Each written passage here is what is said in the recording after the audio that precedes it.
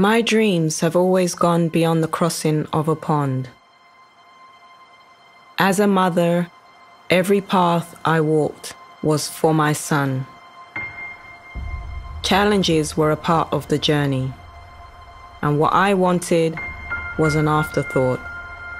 The idea of providing him proper chances helped me to never stop moving forward, forever confronting whatever transitions that needed to be endured, to make his position as a winner more secured.